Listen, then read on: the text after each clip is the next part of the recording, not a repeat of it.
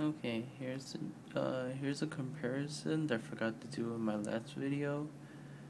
Uh, there it is next to the um, Zaku Ray.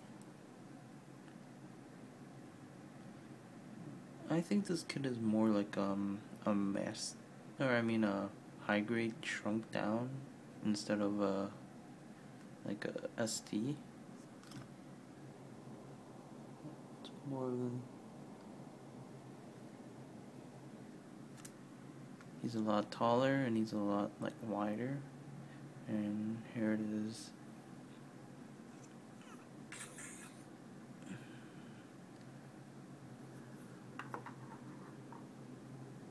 Next to Milo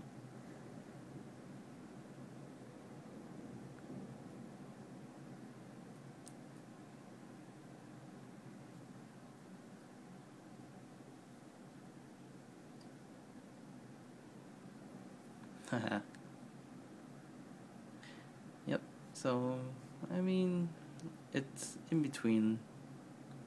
It's kind of like a, a SD shrunken head on stilts.